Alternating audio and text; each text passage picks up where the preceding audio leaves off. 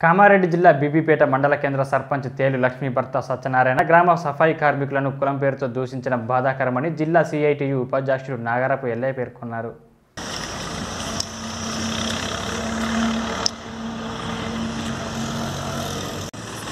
ఈరోజు ఎంపీడీఓ గారికి బీబీపేట గ్రామ పంచాయతీలో గ్రామ పంచాయతీ కార్మికులు పై సర్పంచ్ భర్త అక్రమంగా కేసు పెట్టాలని చూసి నానా అవస్థలకు ఇబ్బందులు చేసింది కాబట్టి తన పైన సర్పంచ్ సర్పంచ్ భర్త పైన చర్యలు తీసుకోవాలని చెప్పి అట్లాగే ఎనిమిది వేల ఐదు వందల రూపాయల వేతనము సెప్టెంబరు రెండు వేల పంతొమ్మిది నుంచి ఇవ్వవలసిన వేతనం ఇప్పటికి కూడా గ్రామంలో కానీ గ్రా మొత్తం బీపేట మండలంలో ఏ ఒక్క గ్రామంలో కూడా రాని పరిస్థితి.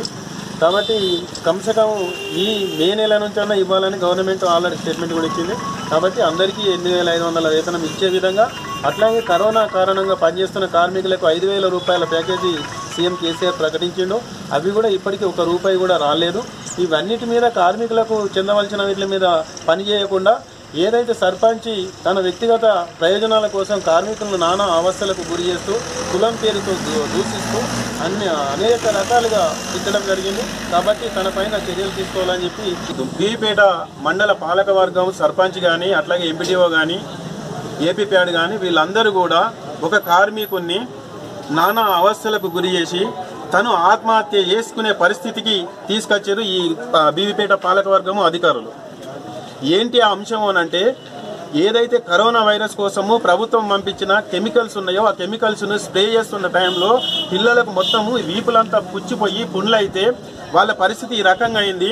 వాళ్ళకు హాస్పిటల్లో చూపించండి ఆ పిల్లలకి ఏమైనా అయ్యేటట్టున్నది? నాన్న అవస్థ పడుతుండ్రు ఒకసారి వచ్చి చూడండి అని చెప్పి సర్పంచ్ గారికి ఫోన్ చేస్తే అసలు ఎంపీడీఓ ఈఓ గారు అయితే ఫోనే లావటలేరు కానీ ఈయనకు ఫోన్ చేస్తే మాత్రం కులం పేరుతో దూషించి రాజయ్య అనే ఈ మొత్తం మండల అధ్యక్షుడు గ్రామ పంచాయతీ కార్మిక సంఘానికి అధ్యక్షుడు తను మాట్లాడుతున్నప్పుడు కులం పేరుతో దూషించి అసలు మాదిగా మా మా- అని చాలా ఘోరంగా దూషించిన ఆ వ్యక్తి ఇవాళ ఒక ఇంక్వైరీ పేరుతోని ఆ మొత్తం ఆయనను ఒక రూమ్లో బంధించి అసలు నిర్బంధంగా బంధించి అందులో ఒక ఎస్ఐని కూర్చోబెట్టి మొత్తం ఏపీ ఎంపీడీఓ కూర్చొని అట్లాగే ఇతర అధికారులు మొత్తం అందరూ కూర్చొని ఒక ఒక కార్మికుని లోపలికి పిలుచుకొని భయభ్రాంతులకు గురి చేసి ఆయనను ఏదో రకంగా దూషించి తీసేయాలన్న ఉద్దేశంతో ఆయన మీద పెద్ద ఎత్తున ఒత్తిడి చేస్తూ ఉన్నారు. ఇది కరెక్ట్ కాదు.